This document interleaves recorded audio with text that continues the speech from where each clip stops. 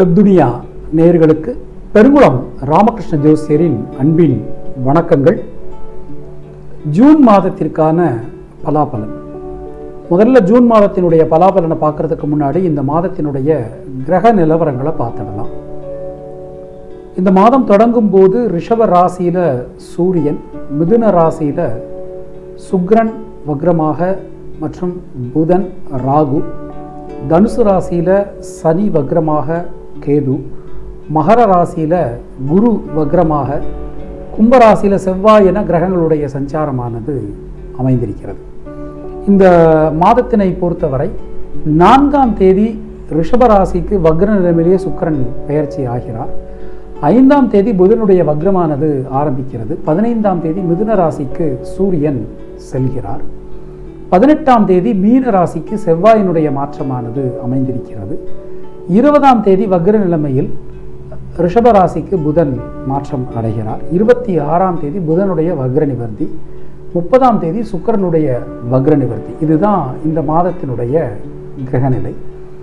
இனி உங்கள் ராசிக்கான பலாபலன்களை பார்க்கலாம்.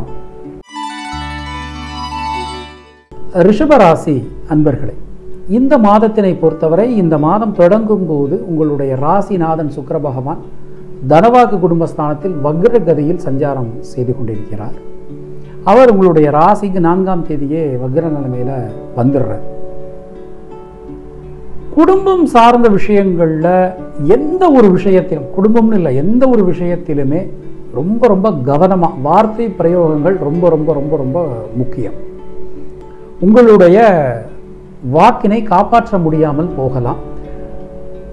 குடும்பம் சார்ந்த விஷயங்களில் பலவிதமான பிரச்சனைகள் ஏற்படலாம். ஏன்னா அஷ்டமத்து சனி வேறு போயின்னு இருக்கு அடுத்தது பார்த்தோம்னா பாம்பினுடைய விஷயங்களும் சரியில்லை. இந்த மாதிரி இருக்கக்கூடிய வேலையில் ரொம்ப ரொம்ப கவனமாக நீங்கள் எடுத்துக்கணும் அதிக பிடிவாதம் அதிக கோபம் இதையெல்லாம் தவிர்ப்பது நல்லது.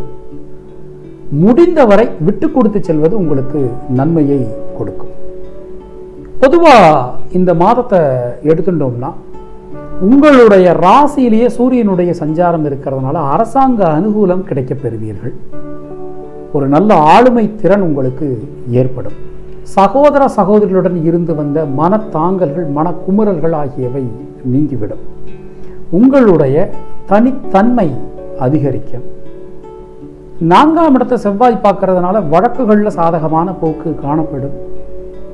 புதிய விஷயங்கள் புதிய முயற்சிகள் அனைத்தும் வெற்றி பெறும்.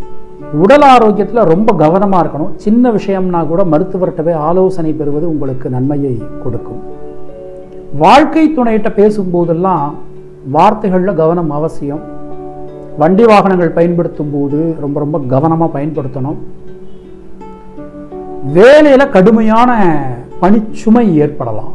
கடுமையான ஒரு ஒரு பணிச்சுமை ஏற்படலாம். ஒரே நேரத்தில் பலவிதமான வேலைகளை செய்ய வேண்டிய சூழ்நிலைகள் ஏற்படலாம்.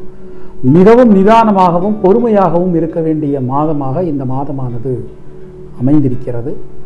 எந்த ஒரு விஷயத்திலும் நிதானம் அவசியம் பொறுமை அவசியம். அது மாதிரி ஒரு புதிய முதலீடுகள் செய்யும் போது புதிய விஷயங்களை ஆரம்பிக்கும் போதெல்லாம் திட்டமிட்டு செய்யணும். நேரத்தை சரியானபடி பயன்படுத்தணும். இதெல்லாம் ரொம்ப ரொம்ப முக்கியம். கிருத்திய நட்சத்திரத்தில் பிறந்தவர்களுக்கு அரசாங்க அனுகூலம் கிடைக்கப் பெறுவீர்கள். ரோகிணி நட்சத்திரத்தில் பிறந்தவர்கள் உடல் ஆரோக்கியத்தில் அதிக கவனம் செலுத்துவது அவசியம். மிருகசீரிஷம் நட்சத்திரத்தில் பிறந்தவர்களுக்கு வீடு மனை பாக்கியங்கள் உங்களுக்கு ஏற்படும். தினசரி குலதெய்வ வழிபாடு செய்து வருவது உங்களுக்கு சிறந்த பரிகாரம். உங்களுடைய அதிர்ஷ்டமான எண்கள் இரண்டு ஐந்து ஆறு. அதிர்ஷ்டமான நிறம் வெள்ளை மற்றும் பச்சை. உங்களுக்கும் உங்கள் குடும்பத்தினருக்கும் இறைவன் நீண்ட ஆயுளையும் நல்ல ஆரோக்கியத்தையும் வழங்கட்டும் என இறைவனிடம் நான் வேண்டுகிறேன் பிரார்த்திக்கிறேன் ஆசீர்வதிக்கிறேன். நன்றி வணக்கம்.